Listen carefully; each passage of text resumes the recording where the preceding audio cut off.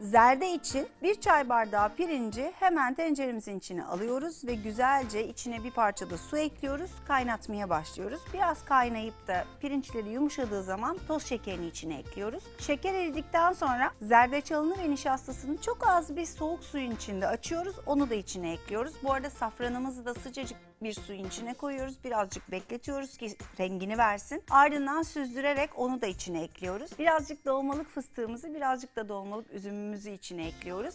Ve güzelce pişmeye bırakıyoruz. İyicene pişip koyulaştığı zaman alıp kupların içine servis ediyoruz. Üzerine yine dolmalık fıstık ve üzümle süsleyebiliriz. Birazcık da antep fıstığı koyabiliriz.